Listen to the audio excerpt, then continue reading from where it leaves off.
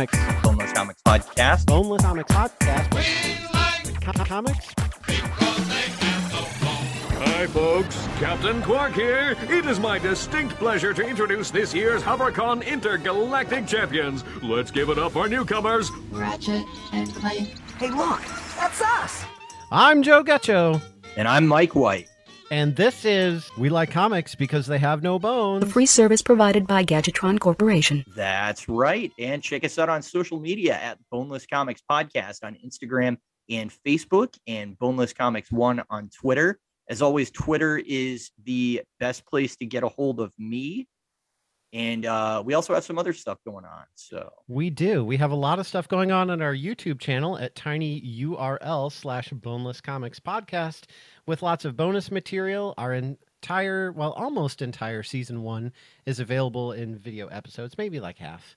Um, but it will be available. And of course, all the episodes on season two go right up there, as well as our after shows, and as well as the premiere of Spidey Joe's one shots. I figured I'd give a little plug for that in there as well. but wherever you find us, whether it's at our website at bonelesscomicspodcast.wordpress.com or our main podcast site at anchor.fm slash boneless comics podcast, give us a like, subscribe to us, send us comments with your thoughts on our podcast. Our numbers are increasing. yeah, definitely. Uh, let's get some more feedback going. And I I want to apologize up front. Just just some uh, like personal stuff has severely delayed this episode. So hopefully we're gonna try and get back on track and uh, yeah, meet some of our our goals that we set out earlier in the year from here on out. So uh, it's good to be back. Thanks everybody for being patient. I really hope that you've enjoyed uh, just kind of hearing Joe's take on some of the sort of Spider-Man auxiliary characters in his one shots lately. I know I've actually learned some stuff, particularly about Silk from that. So that's that's been super fun. But uh what we're Yeah. talking about today is an action-packed comic based on the best-selling Sony video game franchise Ratchet and Clank by TJ Fixman and Adam Archer, which was published by Wildstorm Comics in 2012. Yeah, that should be a lot of fun. It, it's always an interesting thing to do a review of something that you've seen and heard through multimedia and then read about them in a comic because, you know, the art is different, but the whole viewing of it and experience is so much different. I think going from video to comic print versus you know reading something for comics in years and then seeing it on the big screen like it, it seems like it's more exciting to see it on the big screen but when you go the other way it's just like i don't know sometimes it doesn't live up to what you've experienced in the media and i don't know if that's the writing or the platform but we'll certainly get into it today for ratchet and clank Yeah, and we can we can discuss obviously a comic book is 100% narrative driven whereas a video game has a lot of those interactive elements and a lot of times cutscenes and story elements are there to sort of bridge the gap between big set pieces that you're playing.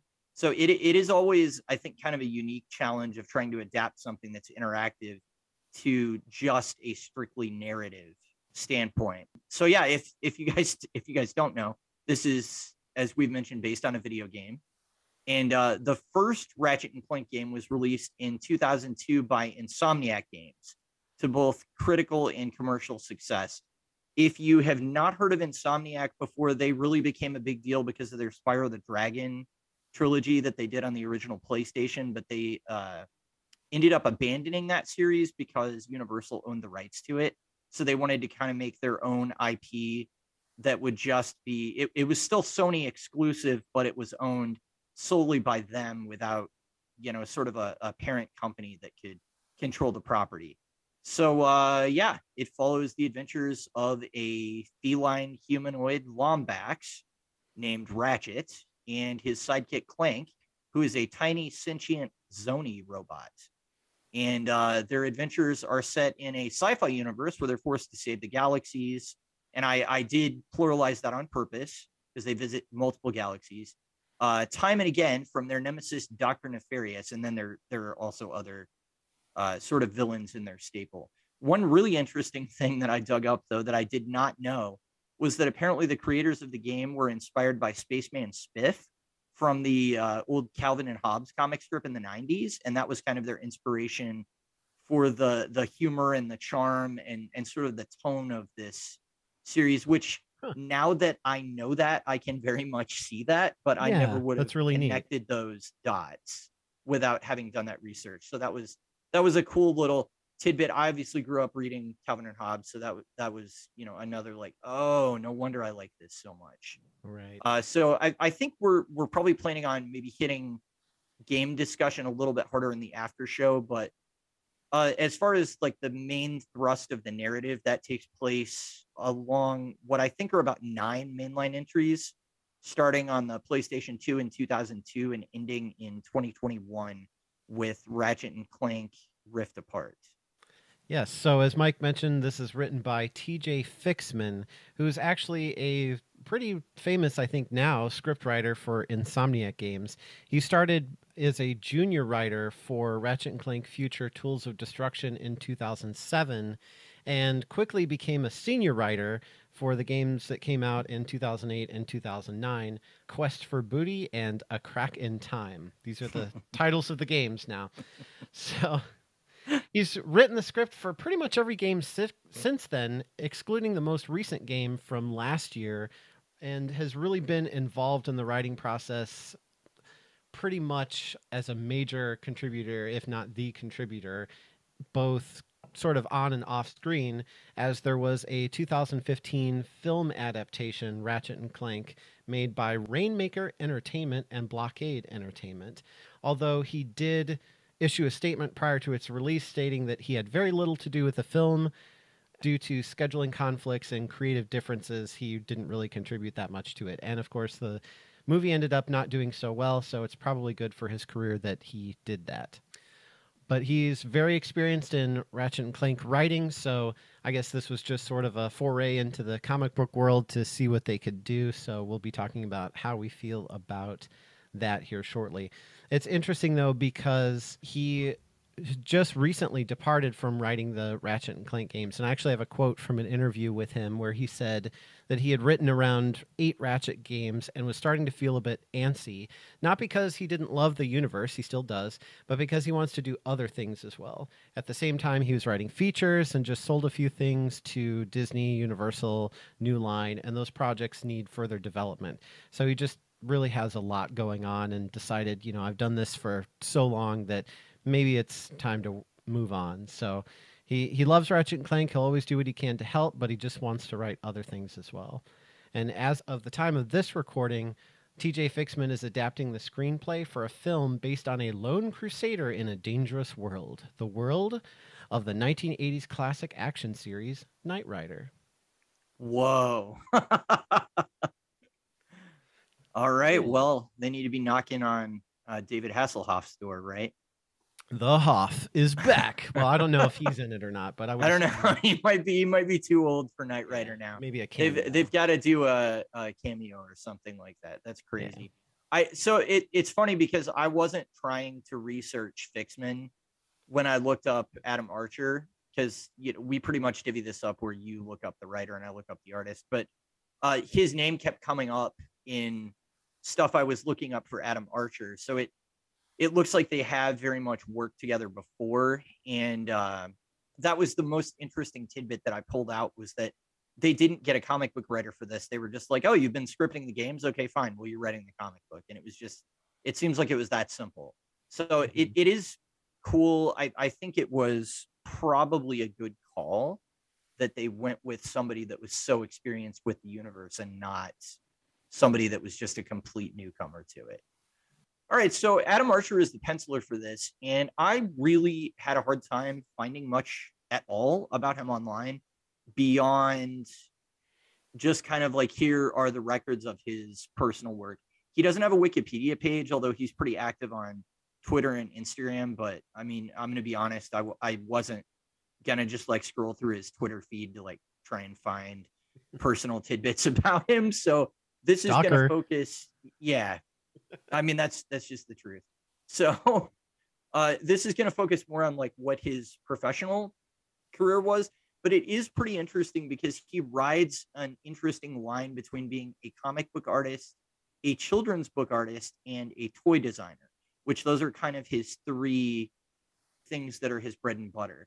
And so there was a quote by him where he said he works for Marvel, DC, and Warner Brothers, as well as developing toys during the day, while at night he writes his own creator owned projects, which include Not Gonna Die in the Dark, Drippy Inkleton, and The Bones of Lampus Hadley, which are all, I, I guess the best way to describe them are they're like children's horror genre books. So think like R.L. Stine's Goosebumps or Coraline or something along those lines.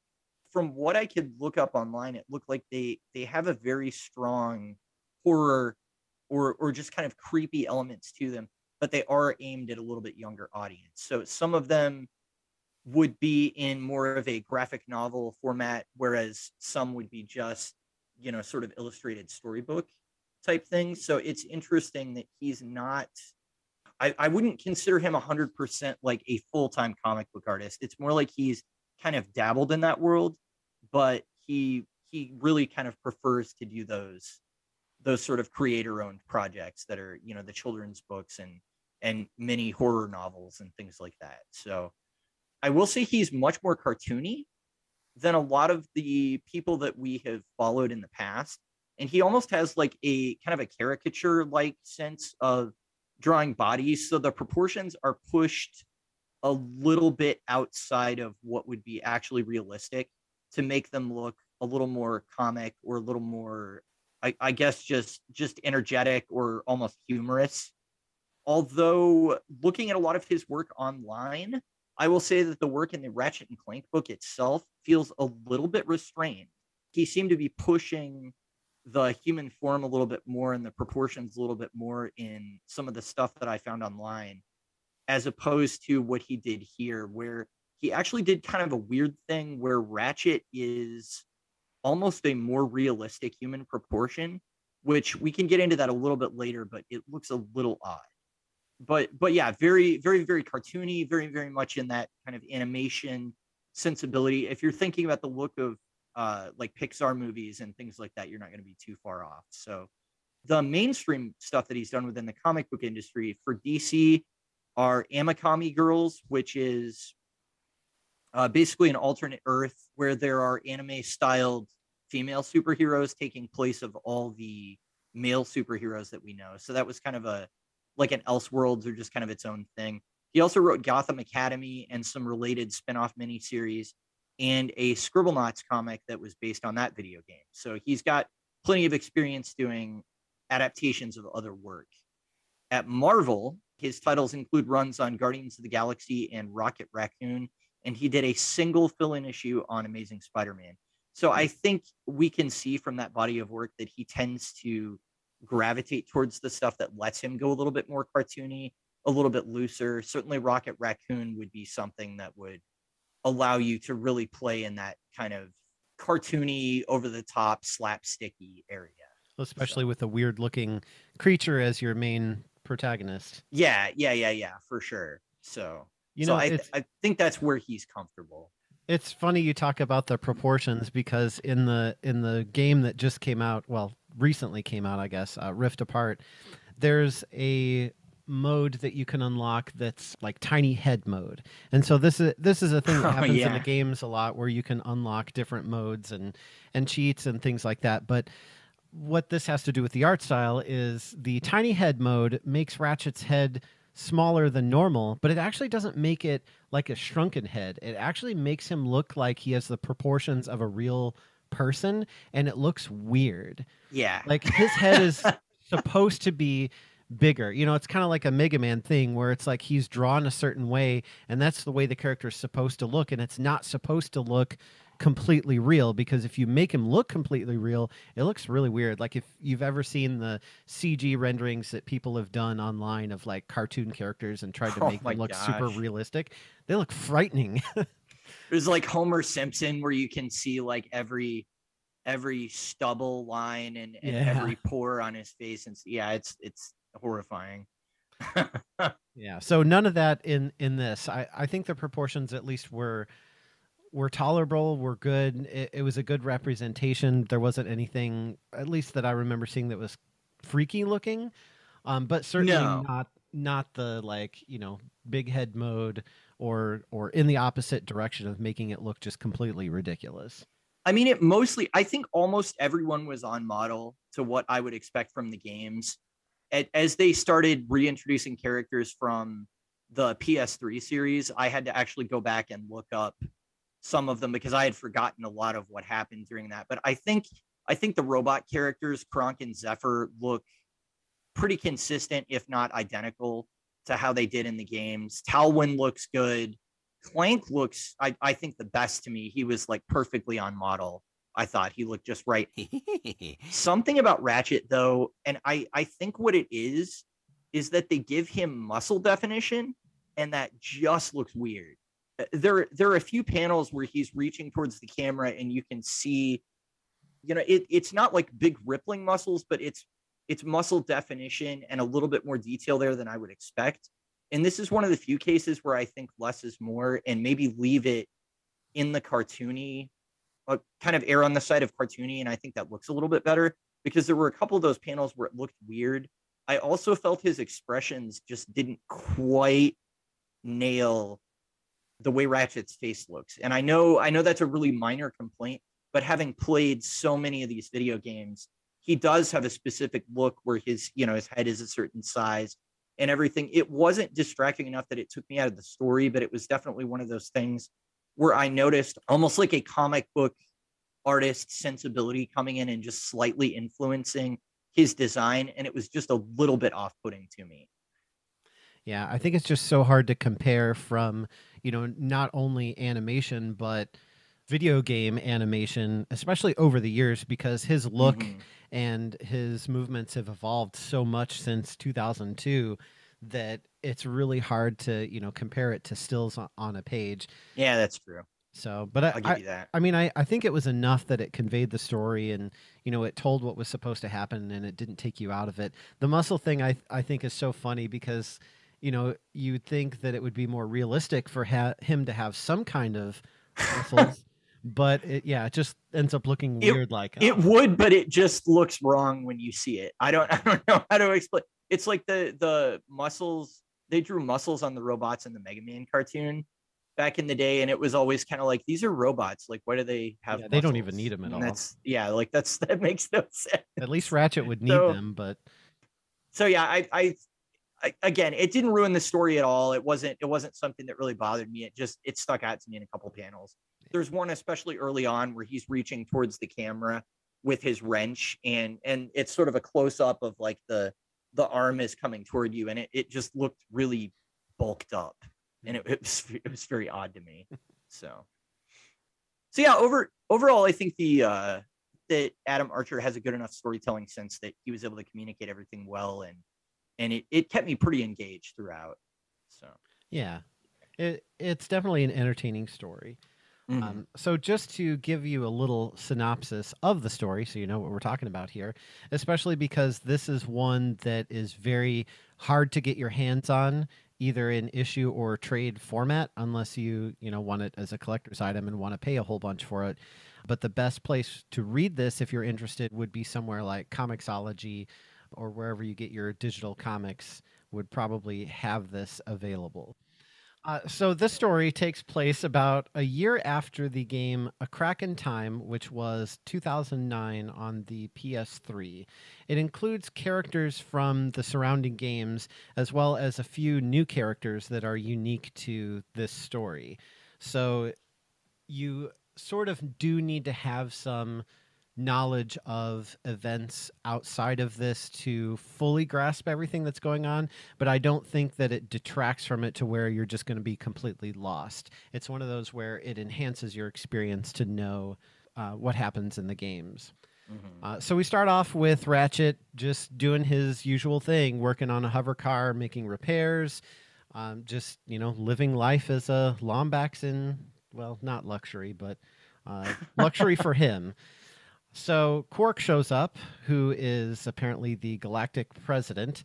He's almost like a running gag in the series where he kind of bumbles his way through the story and somehow gets the credit at the end, which spoiler warning, it happens in this too. Yeah, he's kind he's kind of like a superhero, but really just a superhero in the like the showboating sense and Yeah. not he doesn't ever actually achieve anything, but he's got excellent PR and so everyone thinks he's you know like savior of the universe. So he's kind of the guy that comes in and takes credit for Ratchet's victories a lot. And and he's also just one of the goofiest characters in the series. Yes, you too can be as fit and good looking as your hero, Captain Qwark. Well, maybe not as good looking. On his watch, there are planets that are being lost. They're just disappearing, and nobody knows where they're going. So, of course, he turns to trusty Ratchet and Clank to figure out what's going on and get to the bottom of it and save the universe again so he can get credit. Um, but Ratchet has had enough. He doesn't want to. He's lost some things recently, or people recently, I should say, and has decided that, you know, it's not necessarily really worth the risk at this point and you know somebody will figure it out. It- it'll it'll work out somehow. So what happens is in a crack in time there's a character introduced called azimuth. So essentially what you need to know is just that he's another lombax who shows up and he's sort of like a father figure to ratchet uh, someone ratchet looks up to and respects but isn't his actual father. But it's like you know since he didn't really know his parents he hasn't seen all but you know a handful of people from his race. He had a lot of respect for this guy who ends up getting killed and so now you know he's kind of a little gun shy because he doesn't want anything to happen to anybody else. Sure. so naturally the story comes to them because the planet that they that ratchet and clank are on gets abducted next so they don't really have a choice but to intervene and spring into action so we meet our villain of the story artemis zogg who i believe is original to this comic Yeah, that's my understanding as well. and his motivation for being a villain is because of something that Qwark did.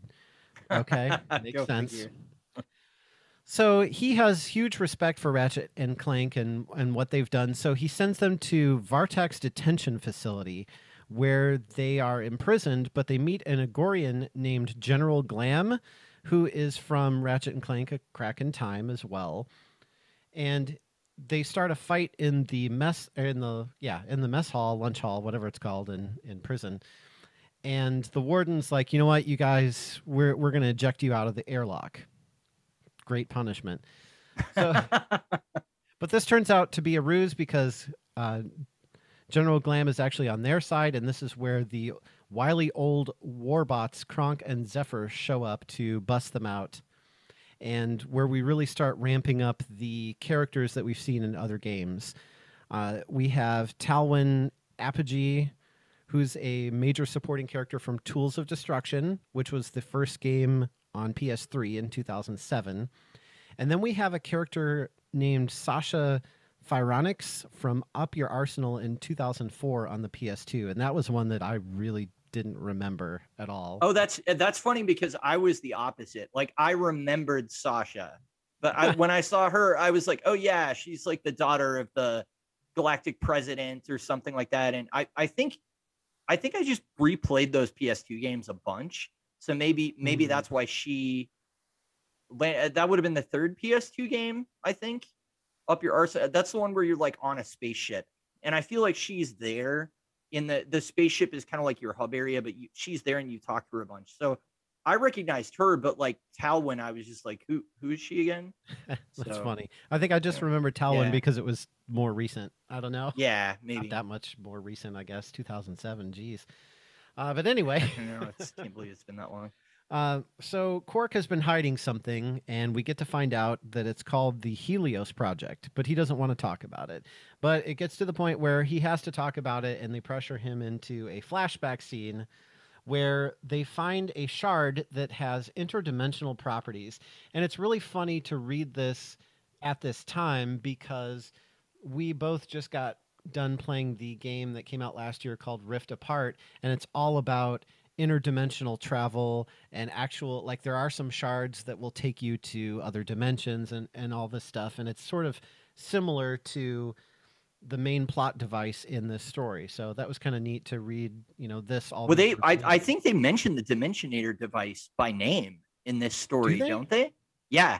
I'm pretty sure they bring it up in, in at least one scene. They're like, oh, the the Lombaxes use the Dimensionator. So it's like one of those throwaway lines, but it's uh yeah, apparently that was like a story MacGuffin before the game that we just played.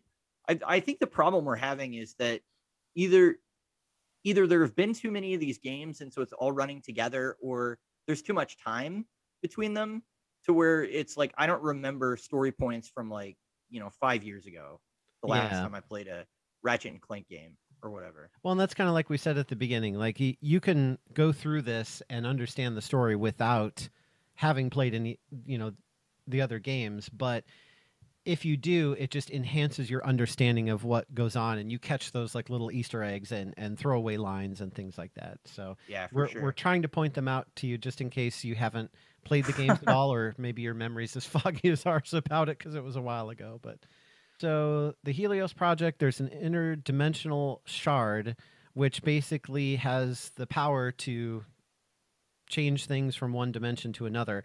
And so what's supposed to happen is there's a public gathering and Artemis Zogg brings Qwark on board because he's a celebrity and he wants Qwark to endorse him in front of everybody while they unveil Helios so that way he can be uh, he can be the galactic president. But Qwark gets it in his head from what his his barber who who was the guy that like was I have "Hey, no idea who that guy was. Some- it it almost was like his PR manager or something. Yeah. Like his manager is in and he's like, Well, you should recommend yourself for president. And Qwark's like, That's a great idea. So he does that. and of course, you know, this is where everything goes crazy because they elect Qwark because, you know, he's a huge celebrity and Zogg is not happy. So he starts using the shard to steal planets.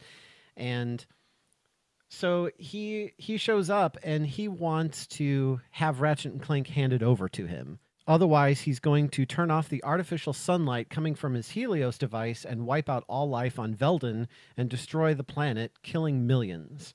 Yeah, so that have you talked about this? Basically, what Zogg was doing was he, yeah, the Helios was like this artificial sun that he created, right?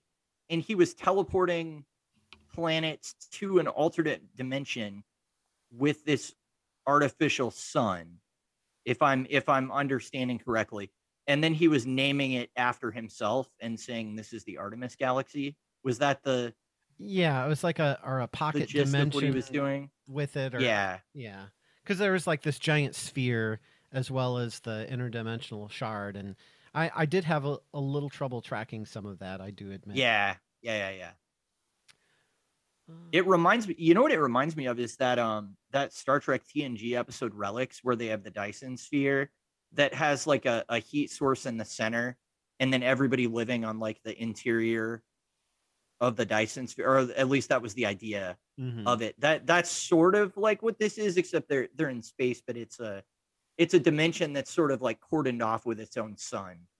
It's yeah, I think this is like a, a miniature miniature version of that because Yeah. in the TNG episode it was the size of Yeah, it, it was like system. massively huge in that. I mean, this fits multiple planets inside, so it's it's almost got to be pretty big. Yeah. I don't know. So essentially, Ratchet and Clank have to be handed over, or a bunch of people are going to die. So Ratchet, of course, is ready to make the sacrifice, but the team is, you know, not ready to let him do that. But then, if Qwark actually comes up with a plan, and actually seems to be like a decent plan, which is really weird. uh, so Ratchet and Clank do go over like they're going to turn themselves in, but they go over and they fight their way to steal the shard. And so I say that, but there's like panels and panels and panels of action and fighting in the middle. So you're not getting any of that in this synopsis. But yeah, there's a lot, that. of, there's a lot of action in this story. Yeah, and it's an action game adapted to a comic, Yeah. so you would expect to see some action because otherwise it would just be weird. So Talwyn boards the ship to save them, and so they make it away with the shard, but she gets locked into a different part of the ship and then left behind as they escape to Veldin. And she gets busted out by Zogg's uh, scientist warmonger guy, who's like, you know what, We're, I'm not really good at this warmonger stuff. I'm a scientist, so you know, power has really changed my boss, so I'm going to help you escape. But as they're escaping, Glam gets gun happy and blows up the ship because he thinks that's what's going to save the universe, even though they already have the shard in their possession. And now Talwyn is dead. But as they're mourning and planning their next steps, an escape pod crashes and out comes Talwyn. She's alive, but she might not be for long because she's a hostage, uh, with Zogg pointing the gun who escaped with them. so in the end, Qwark actually kind of saves the day. He remembers a key piece of dialogue about negatively charged energy and connects the dots between the shard and Ratchet's Omni Wrench, and they use that to activate the shard and get everybody like send the bad guys to another dimension and save the day. There's an awesome cameo in here by Mr. Zurkon I wanted to point out. Mr. Oh my Zurkon gosh, only wishes so to great. kill you. it was so great. Mr. Zurkon only wishes for to kill you. But Zogg gets sucked through a portal where he gets into another dimension and he's stuck having a shouting match with another cameo from Emperor Percival Tachyon, Crown Prince, of the Cragmites. conqueror of space and time, and, pending the obliteration of a few insubordinate species, ruler of the universe. Your name's Percival? Yeah, he's a he's another Ratchet and Clank villain that we I I think I had really forgotten how much they branched out villain wise They really in did. these games because it it's kind of like they've kind of gotten to the point now where like it's just Doctor Nefarious, like he's the guy voiced by Armin Shimerman of Star Trek Deep Space Nine and Buffy the Vampire Slayer fame. Um, so a couple things happen at the end. During the course of the events, Qwark tried to escape, so Clank wrapped him up in duct tape to keep him from escaping. And this made front page news, and the headline was Hero President defeats crazed planet thief with arms tied behind back. Great. and so we end the story actually right where we started it. Ratchet wants to retire from adventuring. Yeah, I um well, we can we can get into that the sort of his character arc in this in a minute, but I wasn't 100% satisfied with them ending him in the same place that he started. Yeah. I thought that was maybe a missed opportunity. But uh I mean I mean we've given a, a pretty pretty detailed overview of the story. I'm gonna say up front that like the third act that you just described where they had the big action spectacle and like Talwyn was uh, Talwyn is basically Ratchet's love interest for uh people that don't know. One of. She's also the same race as uh Emperor Zogg, the villain which Mhm. I didn't even realize until they made a comment about it later in the story. But uh, I guess they're both Markazian or or something like that. So um, it, that didn't track with me because they look very different. But I guess they're the same race. But uh, yeah, honestly, the third act there was so much going on in so many different set pieces, which is funny to say for like a almost like a cartoon animated type of story that I was having a little bit of trouble tracking who was where doing what.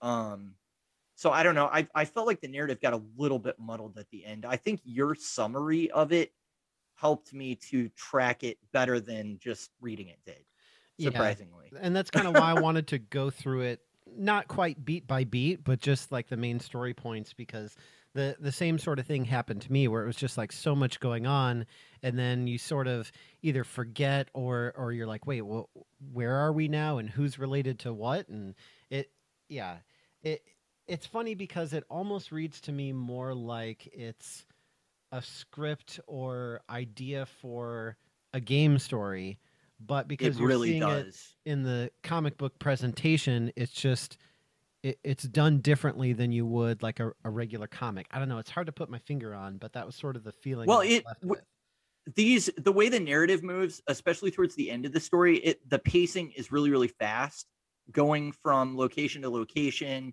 and splitting up the characters and doing a lot of those kind of things. And I think in a video game, you would in between those beats where you're moving the characters around, you would have long stretches of playing the game. So Right. I think that it wouldn't feel as smashed together and chaotic. Oddly enough, in a game, even though you're doing all this crazy action in between, having the story split up that way, I think would have made it flow a little bit better, as opposed to just like, okay, it's the third act, everything's happening at once, and it's crazy. And I mean, I, I get that that's what you want to do for the climax of a story, but it, it was a little bit hard for me to track because you've got you've got the two like I don't know, like old man grizzled war robots, Cronk and Zephyr. They're doing something. Talwyn is off doing something. Uh, you know, Ratchet and Clank have been split up. Clank is with Captain Qwark and or sorry, Intergalactic President Qwark Mm-hmm. and and all of that and and it was just yeah it was a little bit difficult for me to uh, finally i just kind of was like okay we'll just enjoy the character interactions and just you know keep reading and it's not that important because if there's anything you miss as far as why somebody's at some location they'll kind of catch you up on it later anyway. So it was fine. I, I think a lot of these are really more about the character interactions and the the quippy dialogue and Mhm. fun action scenes than it really is about telling a um, I don't know a complicated story that's wrapped up in a neat little bow. You know, especially because a lot of times you do want to start the game and then you want to have some sort of resolution at the end, and a lot of times it does seem like it ends up being where it started like oh we're going to retire we're going to kick back from adventuring a little bit we're going to you know just take a break and sit in our lounge chairs whatever and for a for a comic it seemed a little weird because it's like okay we were expecting more of a, a story arc or some character growth or you know something and like if they had killed off talwyn that could have been like a major thing that you know the comic did that would really be its I mean, thing but that's pretty dark, dark. though. Yeah. that's pretty it's pretty dark for this for this series to kill off a major character. And i guess they had just killed this azimuth guy as azimuth? Azimuth? I don't know. Um i i don't remember him at all. So i i know that that's the explanation in the story for why ratchet wants to quit. I don't think i remember anything about him except that they showed a picture of him and i was like oh yeah he looks familiar but uh Yeah, there there's actually like cuz I I had to look a little bit of information up and there's actually quite a few Lombaxes that Ratchet encounters over the years. Uh, mhm. I mean, only a handful, but it's interesting because like it, it's sort of like the Superman thing where, you know, he's the last son of Krypton and then oh, here's another one and here's another one and here's a daughter and here's a cousin and here and it's like they haven't they haven't gone quite as quite as ridiculous as DC has with like oh there's just Kryptonians coming out of every orifice all of a sudden. Like it's they're everywhere. The Phantom um Zone is but uh but because yeah that does get that does get really really well, like the deeper into Superman continuity you get the more it's like oh look another Kryptonian that we've never heard of that somehow survived. It, I don't think they do it that bad with the Lombaxes but they definitely do uh th- maybe that's like a well that they go back to one time too many I e- even the latest game does that where it's like, oh, he's looking for the Lombaxes, and then they they kind of don't do anything with it at the end, which um is kind of surprising. I'm almost at the point now where I'm like, if that's a story beat that they want to keep hitting on, they need to do something with it. They need to actually resolve it one way or another. Like you you need to either say that they're all dead or have Ratchet eventually find them.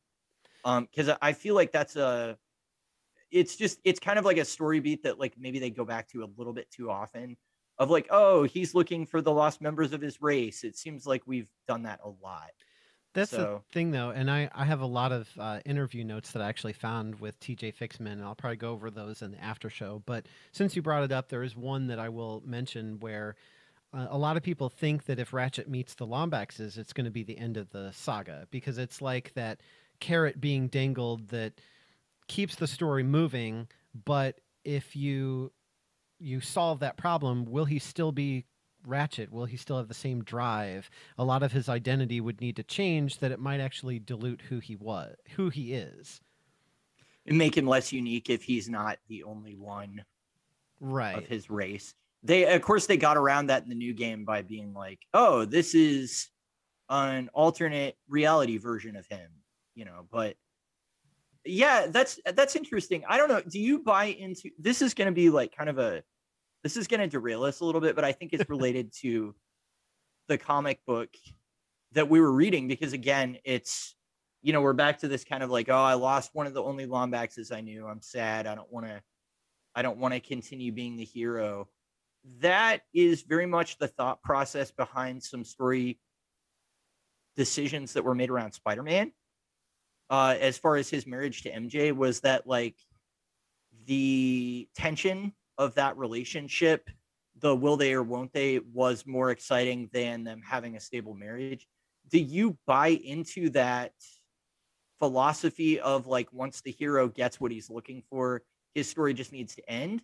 Or do you think that's and I may be showing my hand a little bit here, or do you think that's a writerly excuse to not being able to uh, come up with good stories that branch off of that?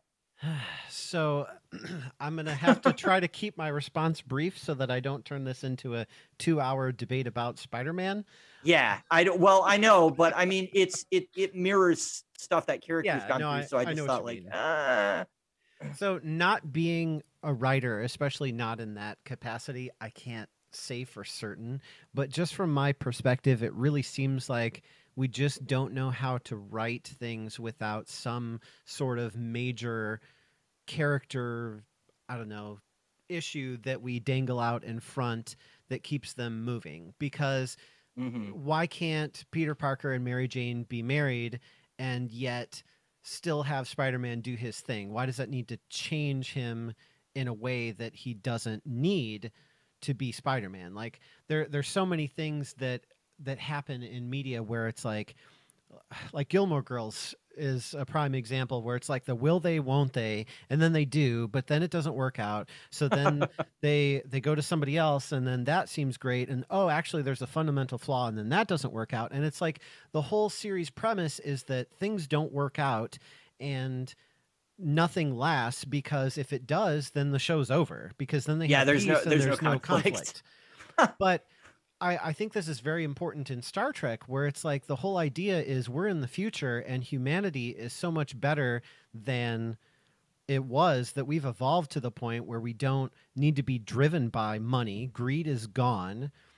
But then it gets hard to tell modern stories. So then we have to find ways to introduce those things back in. So now we have Latinum and we have credits and we have, you know, all these primitive races out there that are you know causing us to basically do the same thing that they're doing which is the same thing that humanity used to do that we said that we evolved from so it, it's really easy just to point the finger and be like oh it's just you know poor star- storytelling they can't come up with a good enough reason but i've never sat down with a blank page and tried to write something like that so i'm imagining that it's probably very challenging yeah, that's. I, I think that's fair. I think that's fair to say. I, I personally think that six issues of a comic book and nine mainline story entries later, maybe it's time to try and move his character along a little bit.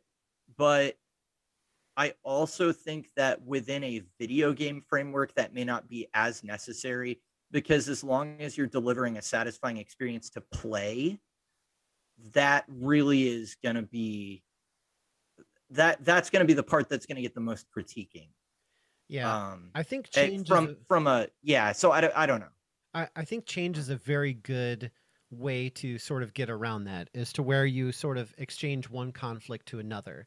I think a Mhm. good example is Doctor Who, which is so long running, just I mean way more than Ratchet and Clank, but the same idea of when you have something going on for so long, how do you keep it fresh and also keep it moving without rehashing the same things over and over because like Gilmore Sure. Girls was only 6 seasons but by the 6th season I'm just like okay like geez guys get your crap together. You make the Yeah, same they're out of and the same issues and you didn't learn your lessons and it just kind of gets annoying at the end. But like with with Doctor Who he has all this these points of contention because he's sort of the rebel character uh, with Mhm. his his species and so he sort of goes back and forth with them and then they do this radical shift where essentially he has to win a war by freezing everybody involved in that war in time and sort of hiding them away to where they're they're deadlocked essentially forever. And so now he's uh, the last of his race and you know we go through the emotional trauma that that brings and how he blames himself and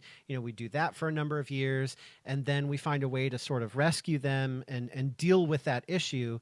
But then you know it, it's just like it it morphs and it changes. It goes from one thing to another. So ratchet could very well find the lombax planet and maybe we dangle the carrot in a different way as of like maybe he's transported there and he gets to meet everybody and get some sort of revel- re- resolution but maybe he's whisked back and he doesn't know where they are. And so he's like, okay, now I know they're out there and I know that they're looking for me and I know all this stuff. I just have to locate them because now they're they're stuck in time or they're stuck in another dimension or they're stuck, you know, somewhere That's actually else. what yeah, I uh, that's actually exactly what I was thinking was that I I feel like you could you could have that moment where you give him some sense of resolution and have him actually find them, but then maybe the dimensional portal is destabilized or something happens and he's not able to remain there for whatever reason. Or maybe you even give him, again, this is good for character. Maybe you give him a, a moment where he has to choose between his life that he's known or staying with them right. there or there's there's even there's even like a dark version of that maybe where he finds them and they're not good people or they're like warlike or something and he has to turn his back on his own race or something like that. I mean they they're I, I feel like there are many directions that they could splinter that off if they decide to actually make that decision to have him finally find them. So i don't, I don't know. I mean it, it just it struck me in this story because I felt like the idea of him uh, wanting to retire and quit and just go back to being a mechanic, that was kind of a story beat that I'd seen repeated in the games a lot. Mm-hmm. And then also, yeah, that sort of like quest to find his people, that thing, it just feels like it never gets resolved and they keep bringing it up. So that's really interesting, though, hearing that the writer himself was kind of like, I don't know if we should ever answer that question. So uh, and we we kind of got off track, but I I think it was good. Maybe to to like sort of awkwardly segue us back into discussing this story. So one of the things that's really a hallmark of this series are jokes and humor, and and just kind of having a even even when there's like crazy sci-fi action set pieces going on, there's usually a lot of comedy in the middle of that do you think that this story handled that well? Do you think they nailed it? Do you think they didn't? I think there's a lot of things, and and maybe it's not fair to cram you know ten years of video games into one or well six issues of comics, Right. but you know there were a lot of things that that feel like they're staples of the series that were sort of missing. Like there there was some humor, but it wasn't I would agree with that. As mm-hmm. creative. Like Ratchet and Clank really has a lot of creative humor that's more than just the sort of one line one liners or quips. I mean, those are definitely present. The weapon used to vaporize the Cragmites was a hat. Oh, come on. There's no way a Lombax would invent something that ridiculous. Oh, really? What about your nuclear-powered rocket sled? Your antimatter bathroom buddy? And let us not forget about the electroshock undergarments you invented last fall. Stunderwear. Huge seller on Umbris. Yeah, um, uh, that that was a big. That's going to be a big miss for me, uh, as far as this story goes. The humor was just not there that I would expect from this series, and I felt like they played it for the most part really straight. I think Emperor Zogg got most of the comedic moments in just in his sort of like menacing, over the top supervillain portrayal. He's also kind of like a chubby guy wearing a long robe that we're supposed to be scared by. So, uh, you know, I mean, I mean, he just kind of looks comedic as well. But I, uh, Ratchet in particular, I felt like his quips just were not on the same level. And I don't know if that's because they have like a team of writers on the games or, you know, what the what the difference was because TJ Fixman is the writer for the games. Right. So I don't know why, but it just tonally it felt like they were going a little bit more serious with it, and that that oddly was a change that I didn't particularly enjoy. So Yeah, and that that's sort of the thing with this is like it it's a little awkward, I think, in the middle of being a comic book adaptation, being like being an actual comic book versus being what we're used to seeing in the video games. Like it, it's missing certain things, like I said, that are are prevalent in each game that carry through, but it's also missing things that I think make a really good comic story. So it's like, wh- where does it fall from there? Yeah. So uh, an, another thing, and this is this is probably skipping ahead a little bit, but another thing that I noticed that is really a hallmark of the games that was missing, and this this is something that they nailed in the Mega Man comic, but that I felt was really missing here, was the games rely on Ratchet having insanely bizarre weaponry. and I mean like Insanely bizarre. yeah, like you're turning your enemies into topiaries. You're uh you know, you're sending the, the little robots out that insult people. I was glad that that was in there. The sheepinator, which turns enemies into sheep.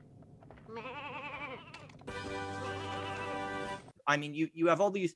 It's it's always been sort of like they're making a third person shooter platformer, but they're also kind of making fun of the genre at the same time, even with the way the game plays.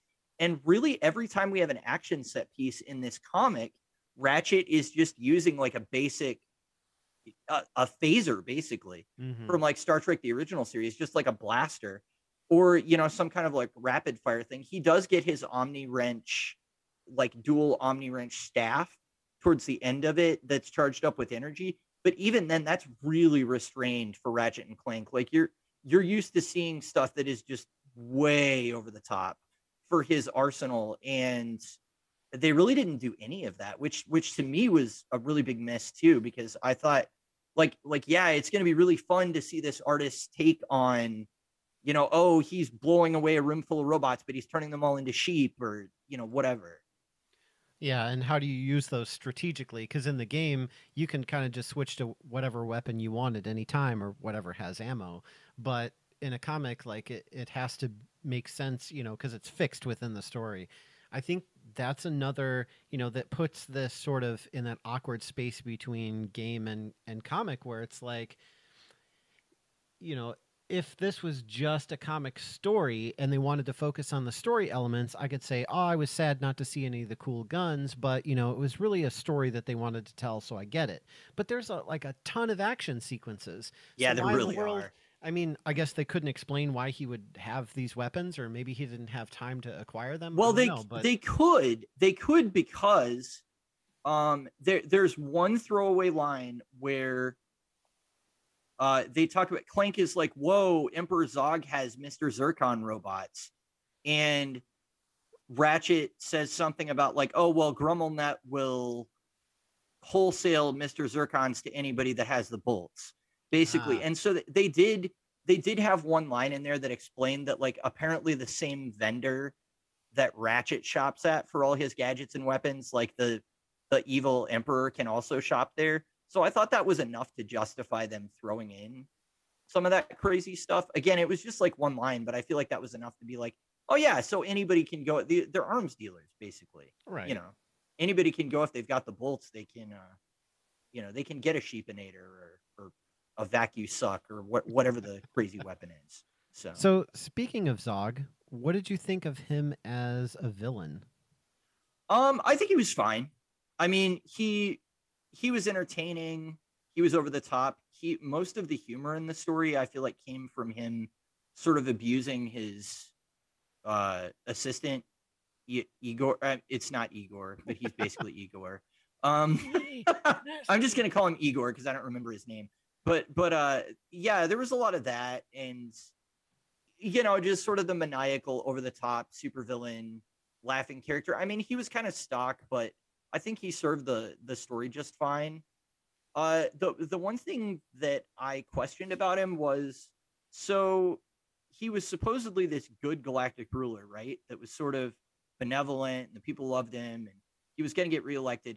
And then Qwark betrays him and decides to run for president and beats him, and that was enough to make Emperor Zogg go so dark that he's going to threaten millions of lives on planet Veldin and like cut off their sunlight and teleport all these planets to another dimension. Like that seems like too much of a turn based on what they tell us about him beforehand. So I, I felt like his his sort of it, it was almost like the Revenge of the Sith where Anakin it's just like there's a scene where you just like flip a switch and he's like, "Well, I'm evil now." And and that's basically it. You know, it it's it, it kind of felt like that where they didn't really justify it with character in the story. And maybe I mean, am I not being fair because this is like a cartoon thing? I I don't know. But but I mean it's yeah, I I feel like that needs to work for the the rest of the story to work. So I felt like that was kind of a problem. Well, I think that main conflict between hero and villain is super important because if you don't get that right, then you know everything else in the story just doesn't seem like it, it, falls apart more. I I think if they would have shown Emperor Zogg as an evil character who was playing nice and wanted to be president so that he could, you know, be an overlord overlord and take over the galaxy, but then he's going to take it into his own hands since he didn't get the position. You know, that that would have maybe made more sense. But yeah, like at the beginning he seems like he's developing this Hel- Helios thing to better the universe and he wants to be president and share this with everybody and it's going to be a good thing and then qwark portrays him and i mean qwark sucks like don't get me wrong but to Right, go yeah, on this he does. to go on this rampage because of it and then in the heat of the conflict he want he demands that they send over ratchet and clank or he's going to you know kill millions like well, why doesn't he want qwark why doesn't he want to you know roast qwark and then or be like you need to publicly admit that you betrayed me and stole you know whatever from me and step down and then Right. I'll take over you know not nothing like he didn't seem interested in that at all so it No. it seemed like he wasn't I don't know like, Well, I think Qwark brings it up too, because there's a scene where Qwark is like, "You, I'm the one you want. You know, let them go." And like, kind of an uncharacteristically Mhm. selfless. Like, I think it was only like one line, and it was while he was all bound up by duct tape and couldn't move. But yeah, yeah, I think he even brings it up, and it's just like it, it- there's this weird thing where like Emperor Zogg respects Ratchet and Clank because they've saved the universe. yeah But also, he's like, I'm gonna kill everybody on your planet because I'm evil. I don't know. To what was it to like set an example and prove to the universe that he's serious? something that they like need to- that I mean, he has kind of the standard supervillain speech about like, oh, the universe is chaos and we need to unite under one banner, or you know, and and have order. Actually, might be a good segue into our uh, our Star Trek episode next time, talking about chaos and order. That's definitely something that we get into with the Borg a lot. But uh, yeah, yeah, I don't know. His character turn just didn't feel justified within the story. So yeah, I don't know. But I, I mean, as if if I'm just looking at him like on the surface level as a character, like he was entertaining. I mean, and and honestly, I was glad that they didn't use Doctor Nefarious oh yeah be, because I do think that they he he's a really good performance. It's kind of like whenever Jeffrey Combs shows up on Star Trek, you're like, all right, we're we're gonna get something entertaining now, you know. And so with Armin Shimerman voicing Doctor Nefarious, I think they keep bringing him back just because like the performance is so entertaining that it kind of makes up for the fact that you're just seeing this guy over and over. But but I, I do enjoy uh TJ Fixman at least trying to do something different here. So well and inventing a, a totally new villain for this story instead of rehashing Yeah. anything really yeah, agreed. so but but at the same time keeping characters that we're familiar with so that way we're more invested in seeing them win because if it was like we're going to tell a completely different story and ratchet's just going to have a cameo it might be a little harder to be on board with it if it were something Well, like that It'd be hard to sell it too. Yeah I exactly think. So speaking of selling it, Captain Qwark in this, I felt like they they went from nailing his character to trying to break new ground on his character that I just wasn't on board with. Yeah, I didn't I didn't buy it at all. I'm I'm 100% with you. Yeah. So like like that scene that you mentioned with him, you know, basically I'm the one that you want and and him being the one that figured out that they were after or that the uh, Omni wrench had the same type of energy that was required to activate the shard and just all these things like him remembering some key important thing and connecting dots like him blurting out something completely random and somebody using that to be like actually yeah that'll work. That that's Yeah. fine. But for him actually to say use the wrench you know that that's Yeah, that's that would be much more in character or for him to like, you know, stumble into the room and break something crucial to the villain's plan. It's it's sort of like the Darkwing Duck thing of like like he he's not actually amazingly competent, but he seems to like bumble his way to success.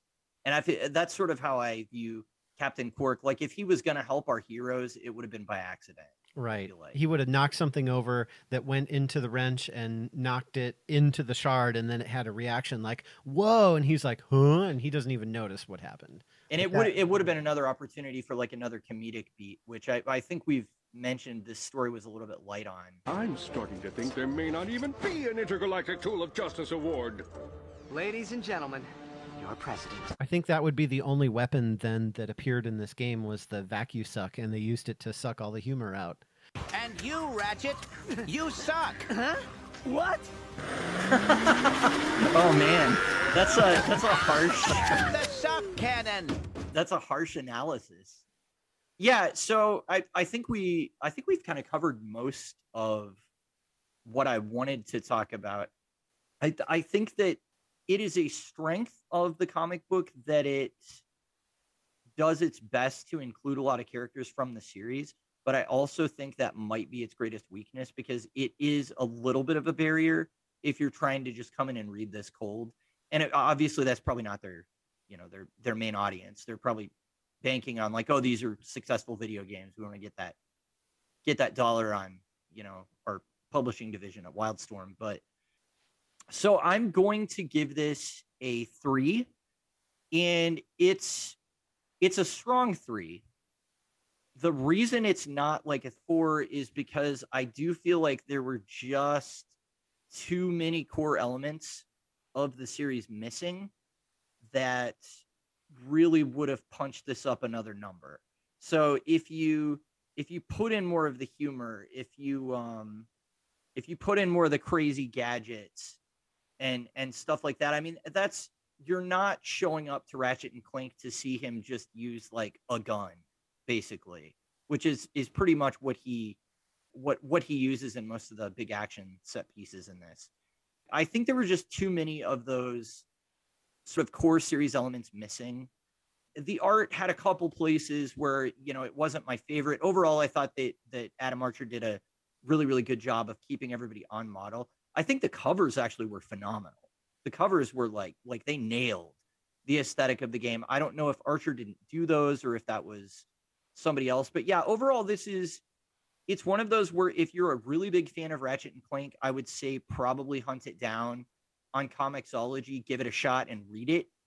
But if you're not already invested in this series, I don't think this is something that's going to win you over. And I also don't know that it's the best representation of what this series is or what it can be as a whole. So, three out of five. This one is really, really hard for me to rate because uh, of what you just mentioned, but also like this isn't something that I would really recommend to to anybody. Like, hey, if you've never heard of Ratchet and Clank, I would be like, well, you should play one of the games or look up a couple Right. videos on YouTube. I wouldn't be like, hey, read this, you know, one-off comic book and I I really feel like what we got here is sort of a watered down game premise told in a comic book format. I don't think we actually got a comic series that was you know what we're used to seeing in comics. And maybe that's because we had sort of a, a media writer writing a comic book. And so it was a good script but the actual execution of it and you know missing things from the game is one thing. But we also you know again didn't really get a character arc whatsoever. Nothing Yeah. really changed or happened. We had a villain that was whose motivations were questionable as far as you know what actually was the motivation. Um, and then not really much sense of resolution. Like yeah they got the planets back and he's in some weird dimension which i guess is a typical ratchet and clank ending. But, Yeah. but for a, a comic i just it's just not there. And i'm trying to decide because three out of five sounds good because it's sort of a middle of the road like there there are a lot of good things about it. Like the art Well, was that's- good and the story was interesting but I think same- it's I think it's just my I think my three out of five is just like it was competent. It- yeah. It, wasn't it wasn't like and and I don't know what your like mental reasoning is for you know your ratings or how you how you sort of like think through that. But that that to me is like this is like the definition of a three for me. Um where it's like it was fine. They didn't make any like huge missteps.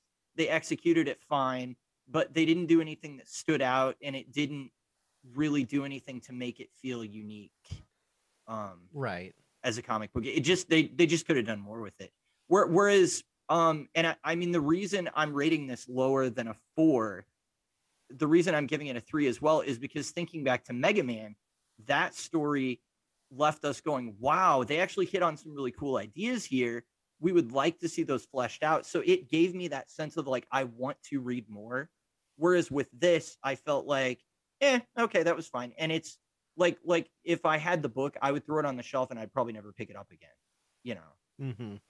So Uh, that I I, yeah. I don't know. I guess I guess that's the difference for me, and that's why I had to I had to pull it down to at least a three because I was just like it's we've seen this done really well with another property that arguably has much less story than Ratchet and Clank. So I don't know. Yeah, I no, I I agree with you hundred percent, like totally. But I think at the same time, I'm gonna be a little bit more drastic and and, Oh. and say that if this didn't exist, I don't think that anybody would miss it. Uh yeah, I think that's fair to say. I, I don't think it adds anything that you need. So if a one rating was like total garbage and it was just awful, this would not be that because it's still it's still entertaining. So Yeah. it's not it's not garbage whatsoever. So don't don't think that at all. But just not meeting expectations of either a game story or a comic book story, I feel like it's a very low. It's not a middle of the road. It's it's low for me. Oh, So I'd be looking more of like a probably a 2. okay. You could probably talk me to a 2.5, but yeah, that makes sense. I think I'll I, I think out of 5 bananas. yeah. Yeah, I think I think that makes a lot of sense. I may have given it I mean I mean I don't know. I may have given it an extra point just because I love Ratchet and Clank so much. I- Yeah, I'm there's not that sure. too. But uh but it's it's hard to separate myself from that. But I uh, yeah, I don't know. I mean I mean I think that I think that makes a lot of sense. So yeah, Joe gives it a, a two out of five. I give it a three out of five. Hmm. Miss Gears may be in league with Dr. Nefarious. Yeah, who knew?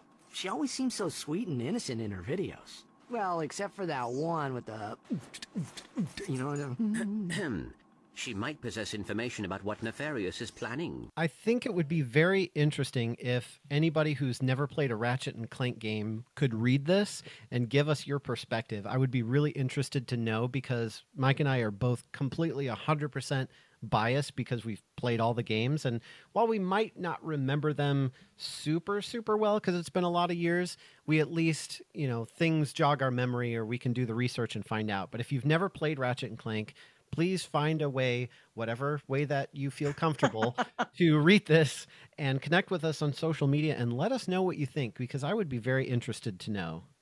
Yeah, yeah, that that actually would be a really good perspective to get. Um, it, yeah, so if anybody can find this on, if it's on Comixology or you know wherever else you can read digital comics, maybe give it a shot just for that kind of thought experiment because it would be really interesting to talk about. Were you able to follow it? Did did the character beats land? You know those kind of things. So, yeah, all right.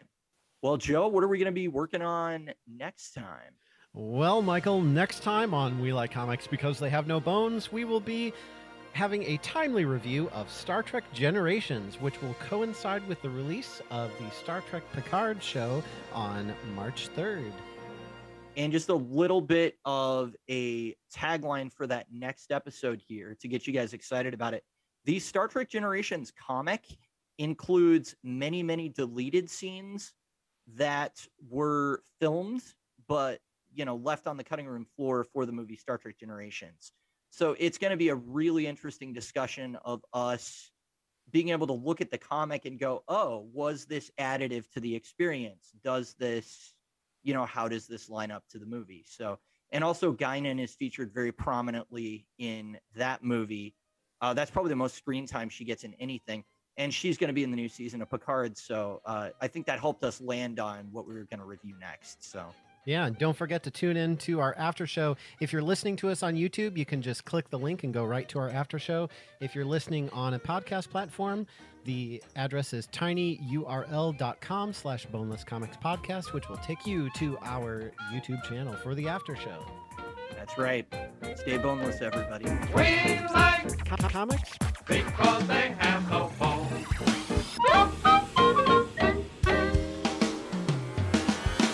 Enterprises is not responsible for sprains, broken bones, snapped tendons, bruised egos, or accidental death incurred while taking the challenge.